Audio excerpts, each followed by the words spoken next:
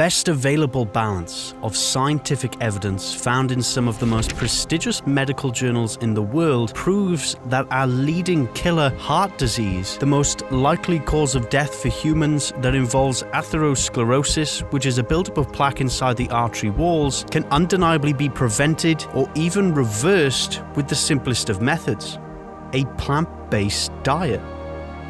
According to the editor in chief of the American Journal of Cardiology, William C. Roberts, the only critical risk factor for heart disease is cholesterol, which stems from the consumption of meat, dairy, eggs, fish, and processed junk foods. And so, implementing a plant based diet could essentially eliminate the great scourge of the Western world. It is a food borne illness. It's virtually impossible to induce heart disease in a carnivorous animal with cholesterol as it's part of their natural diet.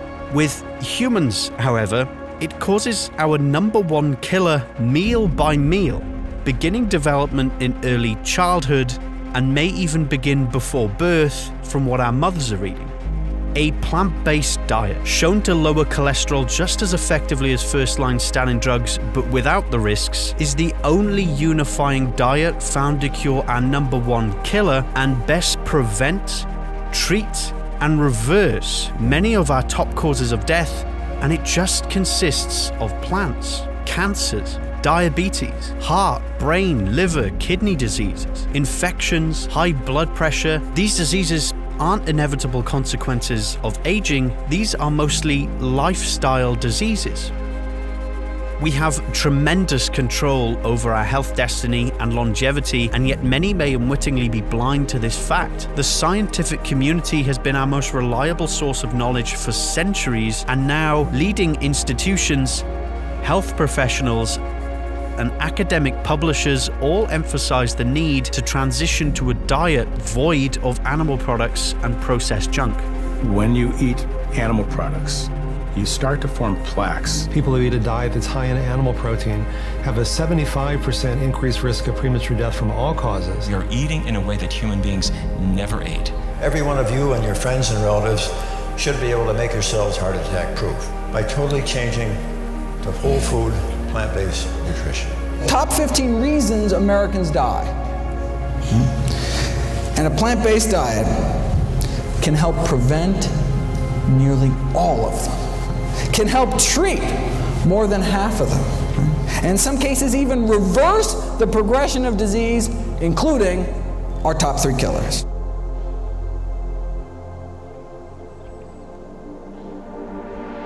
Dying prematurely was associated with meat consumption in the most extensive study on diet and health ever conducted after controlling for other diet and lifestyle factors. A 3.6 year decrease in life expectancy, a 150% increase in odds for heart disease, stroke, and diabetes, with a 231% increase in the odds for weight gain, all from eating meat just once or more per week.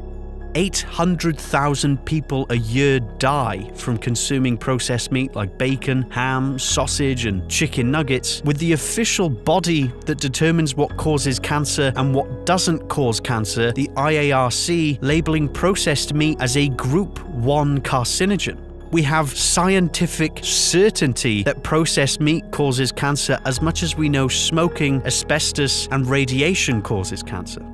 The consumption of animal protein in general leads to the release of the cancer promoting growth hormone known as IGF 1. This simply isn't the case when consuming a plant based diet, which effectively reduces IGF 1 levels. Poultry is most closely tied to cancer, with just a daily serving of 50 grams of chicken increasing pancreatic cancer risk by 72% during the decade long EPIC study that followed just under half a million people. Meat consumption is positively associated with weight gain, and poultry is potentially the most fattening meat. It is also the most common source of salmonella poisoning and causes considerable cross contamination, which can lead to E. coli intestinal colonization just through handling. Cancers of the mouth, colon, bladder, prostate, and breast tripled in odds for developing in those that just ate half an egg a day when compared to those who didn't eat eggs at all. Other studies have found that consuming two and a half eggs a week brought an 81% increase in the risk of men dying from prostate cancer. Humans have no nutritional requirement for animal milk according to leading Harvard University nutrition experts that also express concern over dairy's involvement in growing hormone sensitive tumors. Dairy has been linked to an increased total prostate cancer risk, increased blood pressure, acne, diminished male reproductive potential, and premature puberty. It has also been associated with a significantly increased risk of Parkinson's disease, estimated that the risk may increase by 17% for every daily cup of milk consumed. Highly toxic pollutants like dioxin and mercury are exposed to humans almost entirely from eating animal products, especially fish, with its consumption appearing to cause cognitive dysfunction, higher risk of cardiac death, triple the risk of developing colon cancer, and a 250% increase in kidney stone risk. Even inhaling smoke fumes from pan frying fish is capable of damaging the DNA of human lung cells. It may not be surprising then to hear that the multi billion pound fish oil industry sells something that shows no protective health benefits. It's the food, sending this surge of cholesterol, saturated fat, and oxidized meat proteins through the body day after day is a recipe for artery disease, colon cancer, high blood pressure, obesity, strokes, and dementia. We are plant eating creatures. We are not homo carnivorous. We are not flesh eating apes. We're meant to run on whole plant foods, and when we do, the body gets lean and healthy. Obesity begins to melt away arteries open up, high blood pressure begins to normalize, blood sugars stabilize, inflammation subsides, and energy levels increase. Even with a family history of genetic disease, diet can be the deciding factor of whether someone suffers that disease. Diet and lifestyle factors can trump genes, as epigenetics has shown us that genes may sometimes load the gun, but diet pulls the trigger. Whether that disease actually manifests in your body depends upon the molecules you're flowing through your tissues day after day. There are families losing loved ones, people having their chests cut open for bypass surgery, people on pills for most of their lives, their bodies degrading with each meal, while right there published in the most reputable scientific journals in the world, clear evidence, randomized controlled trials, proving that most of these diseases need not happen and can melt away on a plant based diet. Someone can suffer from type 2 diabetes for years, taking a plethora of pills every day, while studies swapping diabetic patients to plant based diets are bringing patients off all their blood sugar drugs in less than a month, and even without weight loss, bringing them off all their insulin medication in just 16 days of eating plant based. The United Kingdom's NHS spends about £9 billion on type 2 diabetes every year, which is around 10% of the total budget for something that can be cured with plants plants. In virtually all studies, vegetable protein is superior to animal protein. Oxford University researchers found that those eating plant based were less likely to develop all forms of cancer combined. Vegans were also found to be the only diet group averaging an ideal weight, and even at the same weight of those eating animal products, they still enjoyed half the risk of developing diabetes. There is a general consensus that this diet is highly beneficial for its potency in preventing and treating type 2 diabetes, along with simultaneously treating cardiovascular disease and reducing cancer risk. Given the right conditions, the body will heal itself. Centering a diet around the consumption of legumes, vegetables, fruit, whole grains, nuts, and seeds has proven to be the single most successful intervention for a weight loss diet to date, achieving the greatest healthy weight loss ever recorded at 6 and 12 months compared to any other such intervention published in the medical literature. The strategy involves improving the quality rather than restricting the quantity, and what better way than eating the most anti inflammatory, fibrous, satiating, safe, sustainable, nutritious, and healthy foods? Those who have become accustomed to the westernized diet can immediately benefit from consuming healthier and more satiating plant based alternatives to animal products, while they transition to incorporate more and more whole plant foods in the diet a plant based diet has been deemed the nutritional equivalent of quitting smoking by Dr. Neal Barnard, president of the Physicians Committee for Responsible Medicine. the former president and fellow of the American College of Cardiology, says that there are two kinds of cardiologists vegans and those who haven't read the data animal products have been deemed unnecessary for human consumption by the two largest bodies of dietitians in the United Kingdom and the United States that both categorically declare that a vegan diet is appropriate for all stages of life and is healthful, nutritionally adequate, and may provide health benefits in the prevention and treatment of certain diseases. The only diet ever proven to reverse even advanced heart disease without drugs or surgery is the same diet that reversed cellular aging, dropped diabetes and hypertension rates by around 75% when compared to those eating meat, slowed down and even stopped cancer cell growth, improved athletic performance, sexual function, mood state, menstrual pain and duration, and reduced the risk of obesity, strokes, Alzheimer's, cognitive decline, and premature death in general. A plant based diet allows you to experience greater joy, satisfaction, and pleasure from all the things you do, with most who adopt the diet feeling more satiated and satisfied, claiming a better quality of life.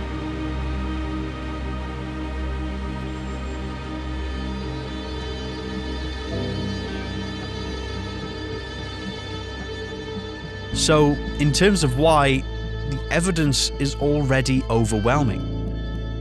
However, it doesn't stop there. According to the World Health Organization, climate change is the greatest threat to global health in the 21st century.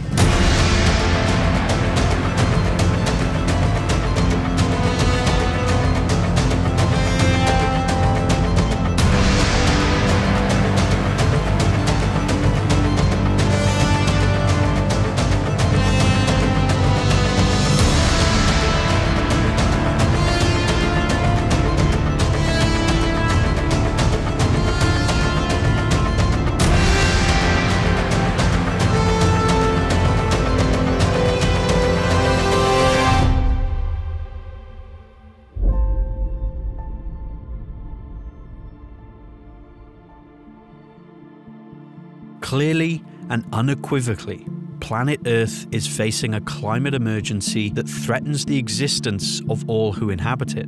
The disruption of the delicate ecological balance that has been shaped over millions of years calls for urgent and ambitious changes to protect and restore Earth's ecosystems and quickly curtail habitat and biodiversity loss, or the current sixth mass extinction may prevail.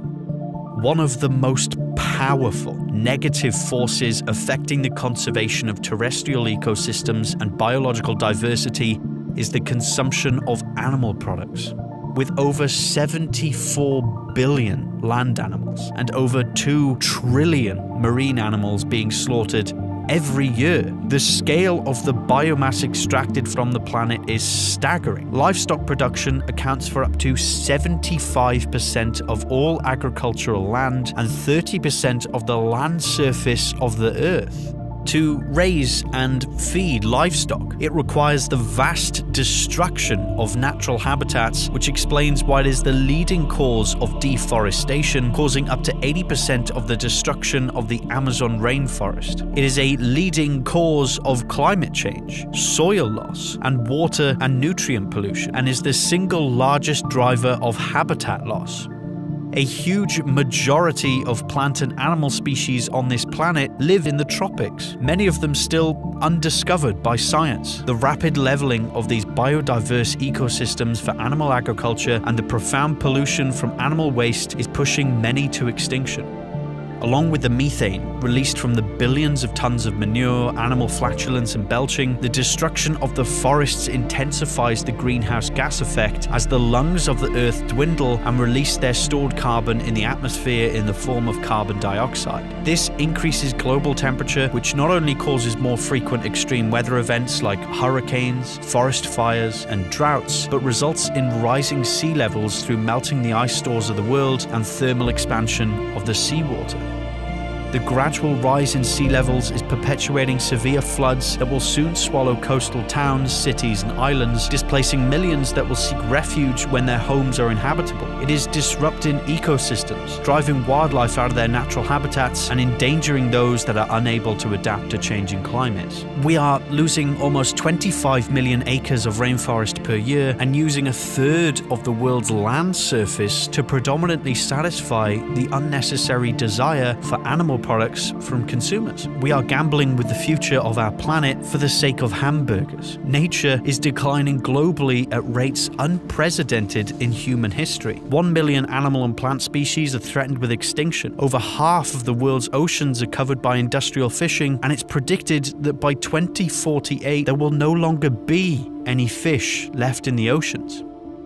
The United Nations UNEP report urges for a substantial worldwide diet change away from animal products, as there is no pathway to achieve climate objectives without the transition. It is evident that a plant based diet is not only the optimal diet for human health, but also for the planet. In terms of global warming, ocean acidification, water pollution, and the toxicity of the air we breathe, the water we drink, and the soil we grow our food from, consuming animal products is 17 times more destructive than sticking to plant foods. Replacing animal source foods with plant based sources may reduce greenhouse gas emissions up to 84% and would keep us within the boundary for climate change by causing fewer adverse environmental effects by nearly any measure. Such changes could free up 3.1 billion hectares or 76% of all farmland because plant foods require much less space than livestock, and this would free up croplands for growing much needed human plant food instead of livestock feed. If the US alone just ate beans instead of beef, it could spare an area of land 1.5 times greater than the size of the entire state of California with no loss of protein or calories and deliver up to 75% of the 2020 greenhouse gas reduction target. Per cropland, plants can produce 20 fold and 2 fold more nutritionally similar food than beef and eggs. It is why, if the US went fully plant based, they would add enough food to feed in full 350 million additional people. To put that into perspective, there's not even that many people living in the United States, so they'd be able to feed an entire extra country's worth of people and then some. The food wasted by animal production in the affluent nations would be sufficient if properly distributed to end both hunger and malnutrition throughout the world. Along with the damaging effects of the climate crisis, it is yet another example of how the poorest populations often receive the worst consequences from the actions of those that are wealthier. Instead of filtering tons of precious plant foods through animals and then consuming their flesh and bodily fluids, by going straight to the source of all the nutrition we've ever received and consuming the most nutrient dense foods in the world, it's estimated that shifting to a plant based diet could save the lives of 11.6 million people every year and save $30 trillion from the health benefits alone. It is perhaps the single biggest way to reduce environmental impact. The same human activities that drive climate change and biodiversity loss also drive pandemic risk through their impacts on our environment. The threat of pandemics has become increasingly apparent, and yet the cause still remains absent from the conversation. Nearly three quarters of all emerging and re emerging human diseases arise from the animal kingdom. Most modern human infectious diseases were unknown before domestication of animals led to a mass spillover of animal disease into human populations. This is why livestock production and animal product consumption are both considered high pandemic risk activities. Tuberculosis from domesticated goats, measles, and smallpox from cattle, whooping cough from pigs, typhoid from chickens, and influenza from ducks, the common cold from horses, HIV from butchering primates in Africa, and SARS, MERS, and COVID 19 originating from bats.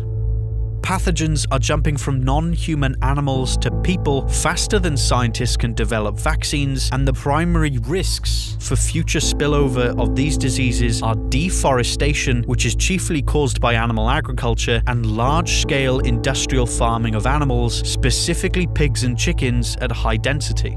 The United Nations agrees that it is the exploitation of animals and the misplaced demand for their flesh and bodily secretions that drives disease. Modern farming practices involve confining tens of thousands of animals into the abysmal conditions of densely packed and overcrowded barns that cripple their immune systems and are a breeding ground for disease.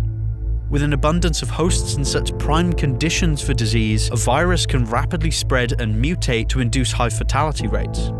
Not if, but when this virus becomes zoonotic and jumps from a non human animal to a human, the results may lead to catastrophic global health implications. The current method of pumping animals full of millions of pounds of precious antibiotics a year to promote an unnatural rate of growth and to attempt to prevent disease is condemned by nearly every major medical and public health institution as it is leading us to a catastrophic post antibiotic era where we may face a future where our miracle drugs no longer work and in which common infections and minor injuries could once again kill bird flu is considered one of the gravest threats facing humanity at any given time, especially the H7N9 influenza virus, which has the greatest potential to cause the next pandemic, as well as potentially posing the greatest risk to severely impact public health if it were to achieve sustained human to human transmission. The last time a bird flu virus adapted to human beings, it triggered one of the deadliest plagues in human history, the influenza pandemic of 1918, where 50 million people died. The link between what is healthy for humans and what is healthy for the planet is undeniable. World leading researchers in nutrition, health, and sustainability formed the Eat Lancet Commission that stresses that a global transformation of the food system is urgently needed and plant based diets should be the foundation of such a system. The least healthy foods also cause the worst environmental impacts, and so a substantial reduction of impacts would only be possible with a substantial worldwide diet change away from animal products. The consumption of animal products is one of the greatest issues facing humanity as it is threatening the planet on a catastrophic scale. The choices that we make have a far greater impact than maybe we want to believe. When someone chooses to consume animal products, they are not only harming the animals and themselves, they also threaten the well being of future generations of this planet. We are in the beginning of a mass extinction, and all you can talk about is money and fairy tales of eternal economic growth. The eyes of all future generations are upon you.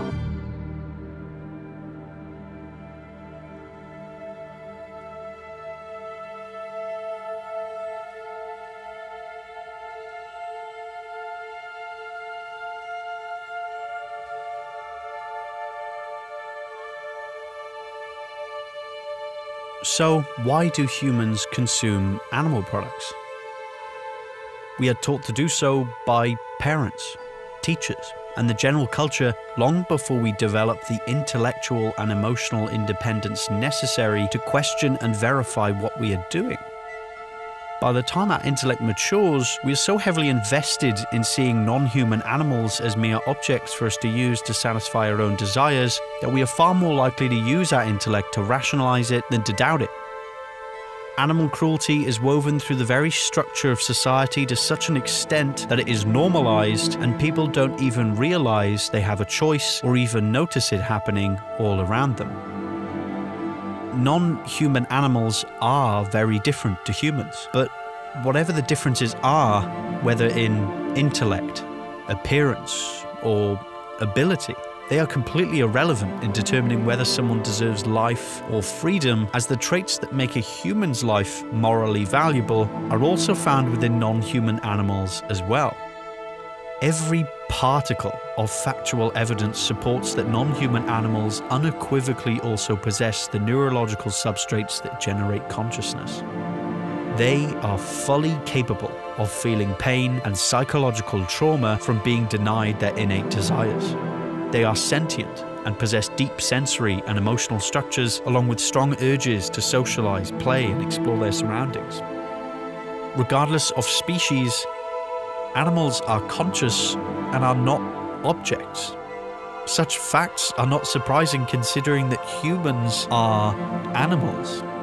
It is in our shared capacity to suffer that we are all equals, and it is this vital characteristic that means there can be no moral justification for refusing to take their suffering into consideration.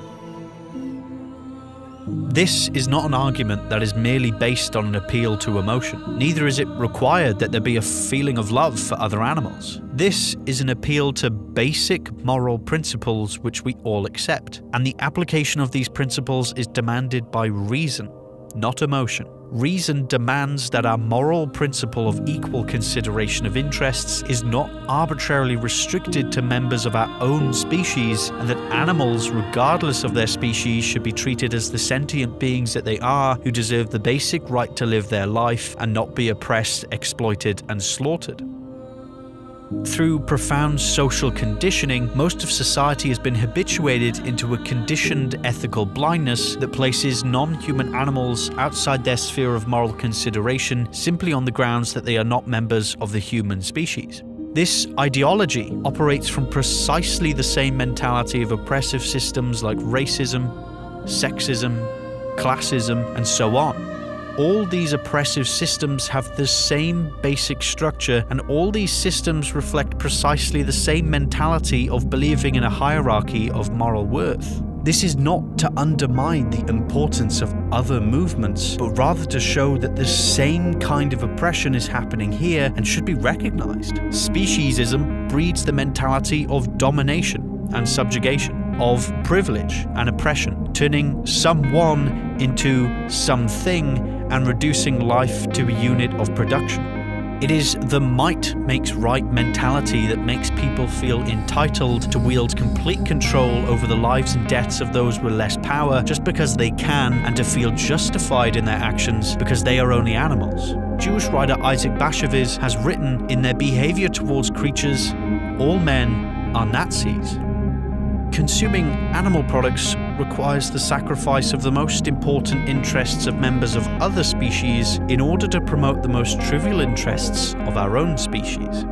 It's a mismanagement of the moral compass to try and justify that taste, pleasure, or profit has a higher moral value than life. Nonetheless, we live in a society which deems that non human animals are worth more financially dead than alive. It is a moral necessity to consider our attitudes from the point of view of the victims who suffer by them. To quote Professor Yuval Noah Harari, when evaluating global happiness, it is wrong to count the happiness only of the upper classes, of Europeans, or of men. Perhaps it is also wrong to consider only the happiness of humans. Non human animals are born into a world where someone has already planned the day of their execution just because humans like the way they taste. They are systemically bred into submission their natural instincts and social ties severed, their aggression and sexuality contained, and their freedom of movement abolished. Their entire existence is reduced to just serving as a needless product and a momentary pleasure of taste to a species of herbivore that will die from consuming what is not theirs to take.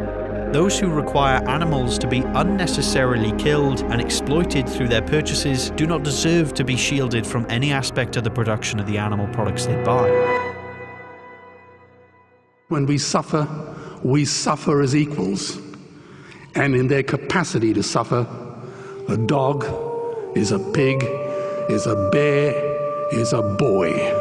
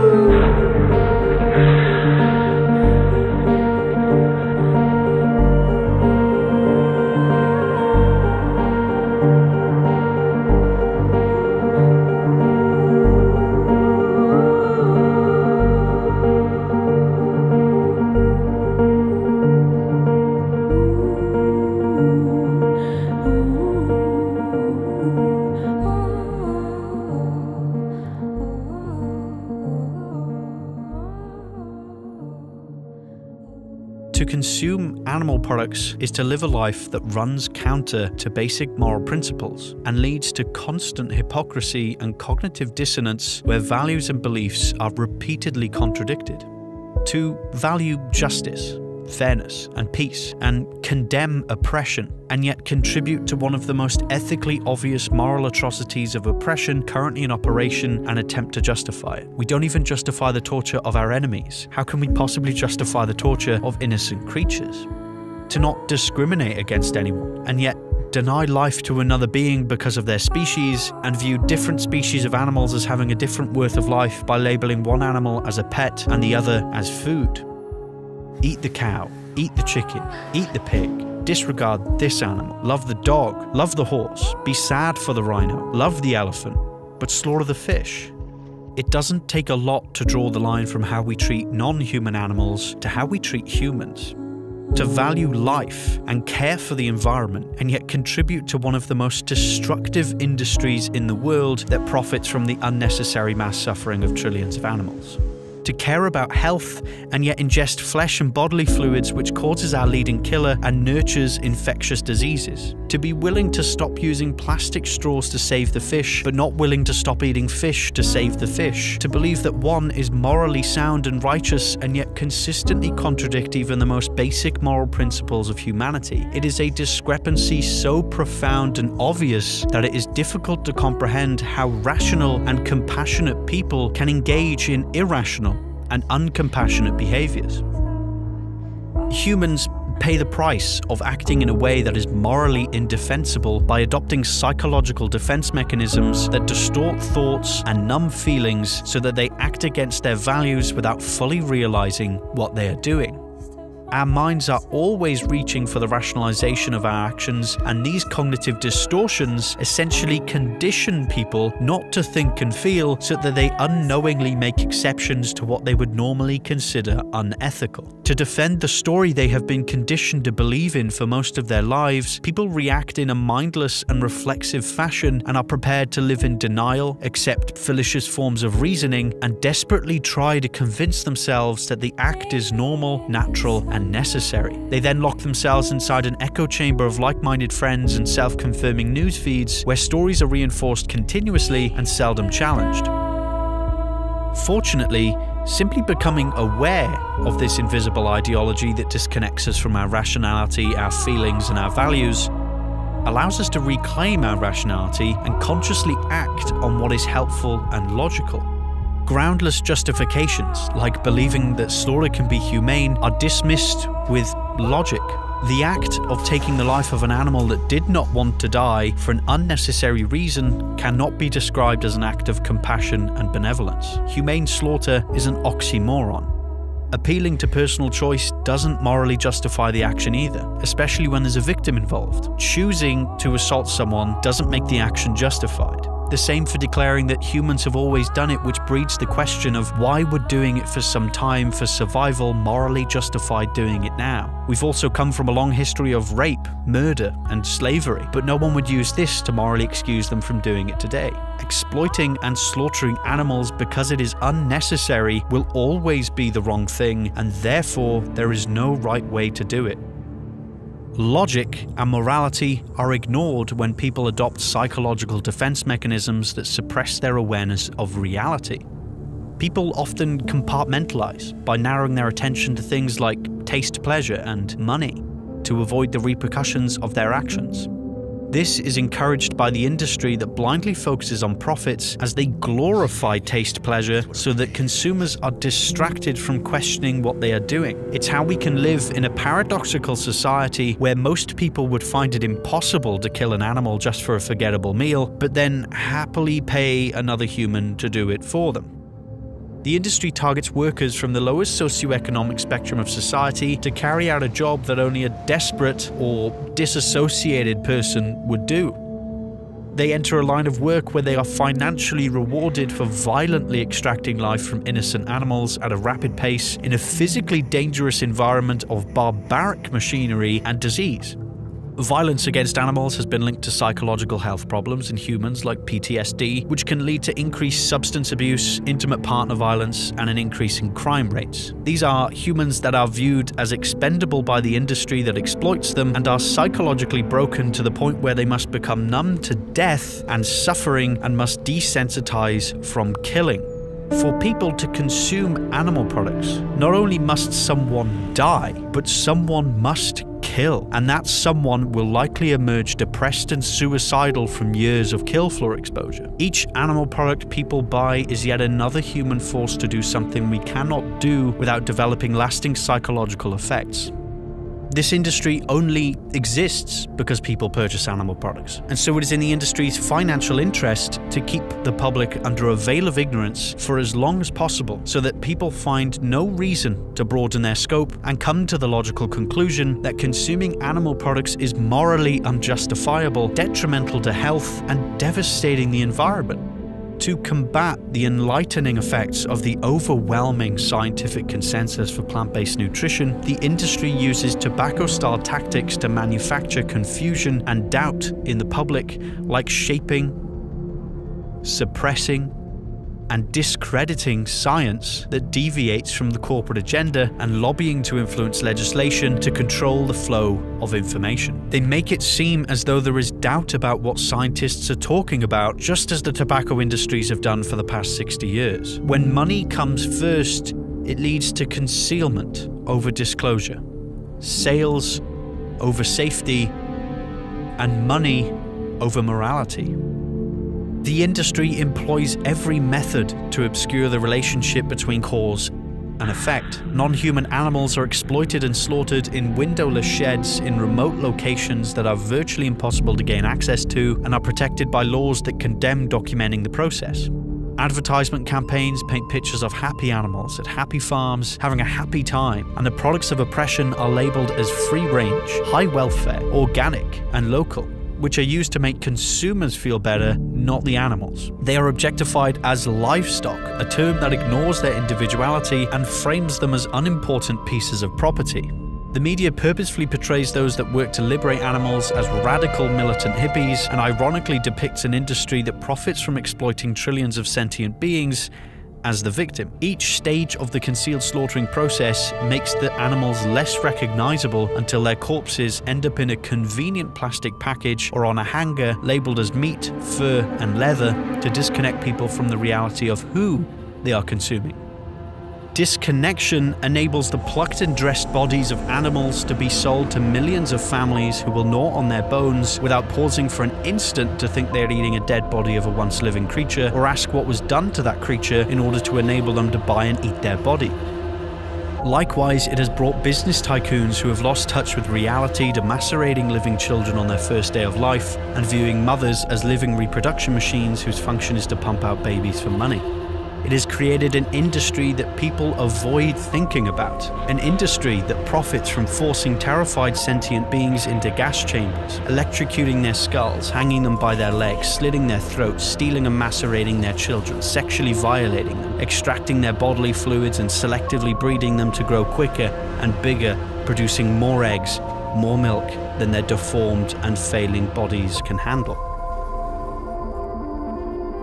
Without awareness, our mental tendency to escape discomfort and experience pleasure is often so compelling that it may just dictate many aspects of our lives.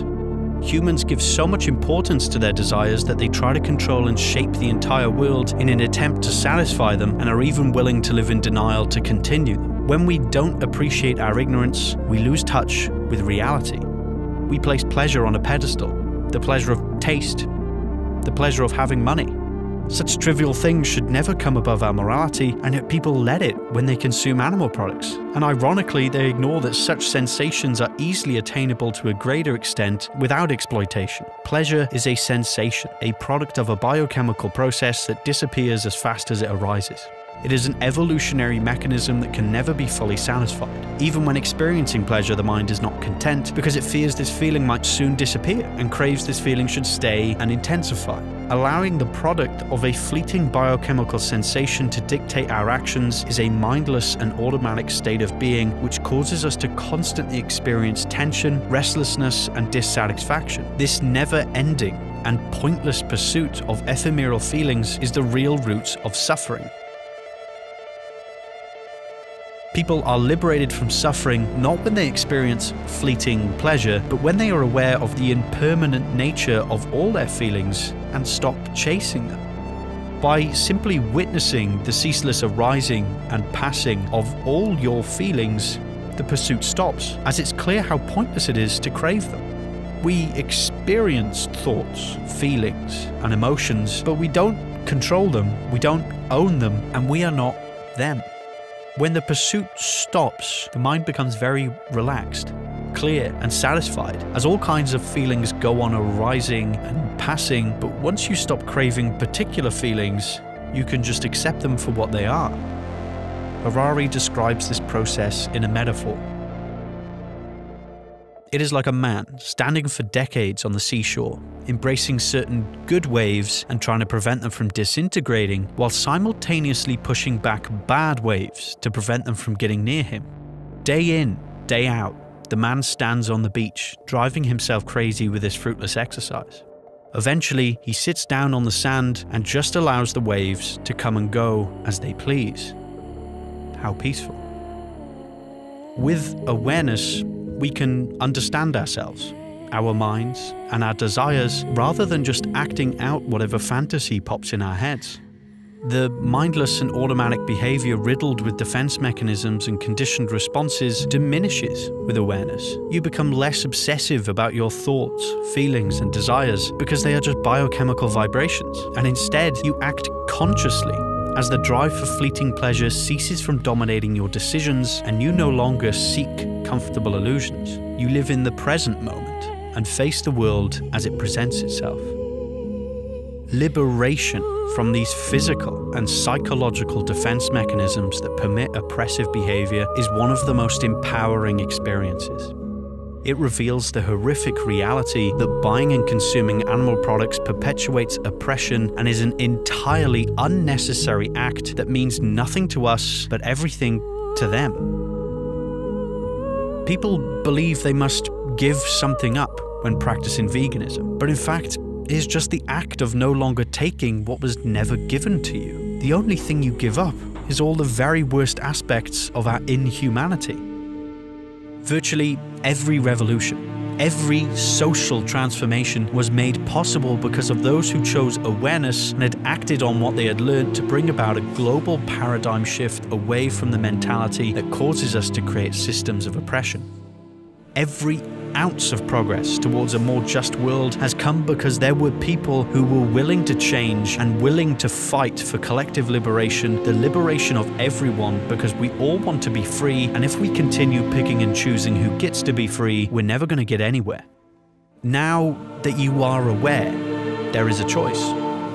Will you choose denial and oppression? A way of life that is morally indefensible and that contradicts your core values? Or will you prove your moral capacity for genuine altruism by ending the ruthless exploitation of the species in our power by no longer purchasing and consuming animal products?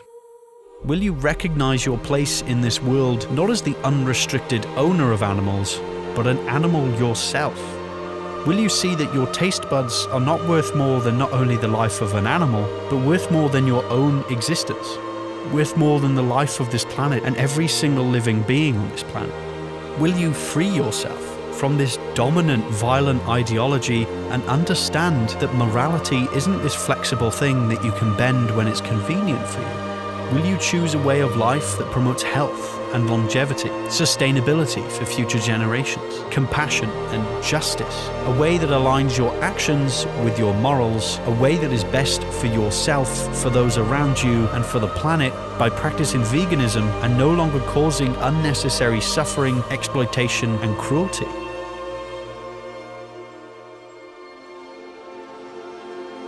Regardless of what you did before, right now you are aware and can make a conscious decision.